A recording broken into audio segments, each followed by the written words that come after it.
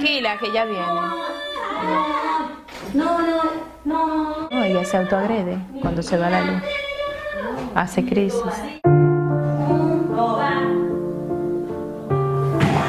Este es uno de los tantos momentos difíciles en la vida de Carmen de la Rosa. Sus dos hijas gemelas de 15 años de edad fueron diagnosticadas con autismo y entran en crisis cada vez que se interrumpe la energía eléctrica en un país donde imperan los apagones. Es algo muy difícil porque como yo quisiera que ellas tuvieran todo lo que necesitan, porque eso es un bloqueo en el cerebro y le hace, le hace daño. Le hace daño a ella y me afecta a mí como madre. Mari Carmen y Carmen Mari no presentaron síntomas hasta que su comportamiento cambió a los tres años de edad y fue cuando varios médicos las diagnosticaron con trastorno del espectro autista. De las dos, Carmen Mari es el caso más severo. Ellas no, no, ellas no son agresivas ninguna de las dos. Ellas no tienden a, a- a agredir a nadie. Ellas se autoagreden. Llegó la luz. Cuando llega la luz, llega la calma. Llega la calma. Todo pasa. En República Dominicana las terapias para mejorar a los que sufren este trastorno cuestan el equivalente de hasta 1.500 dólares mensuales, un costo insostenible para muchas familias.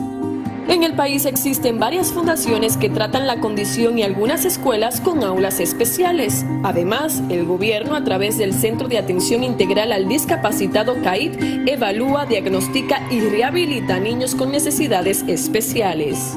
El CAI tiene ahora mismo 19 servicios activos, 19 servicios de intervención terapéuticas diferentes. Cada niño, dependiendo de sus necesidades luego de una evaluación, pues estos niños pueden ir pasando por estos servicios. Pero el CAI es hasta los 12 años y nuestros hijos no dejan de ser autistas a los 12 años de edad.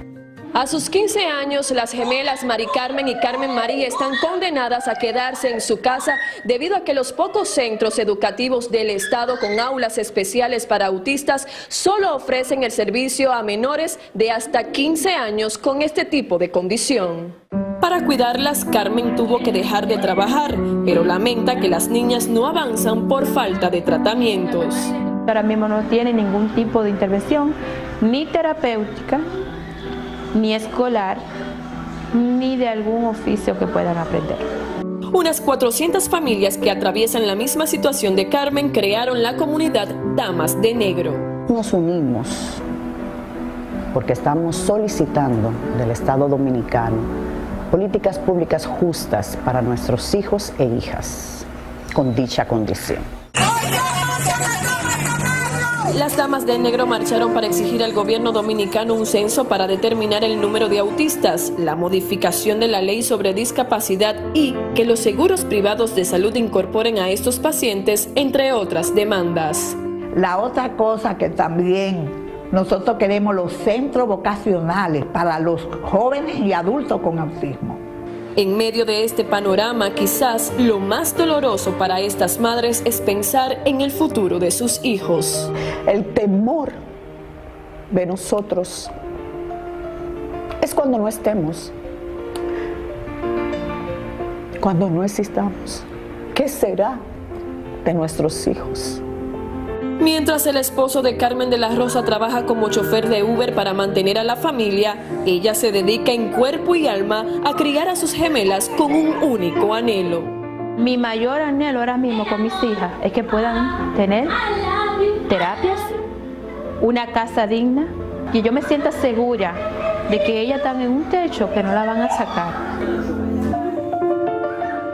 Y Carmen quiere hacer realidad su sueño de poder costear los medicamentos especiales que necesitan sus hijas. Si quiere tenderle una mano de ayuda, llame al 305-471-4219 o entre a primerimpacto.com.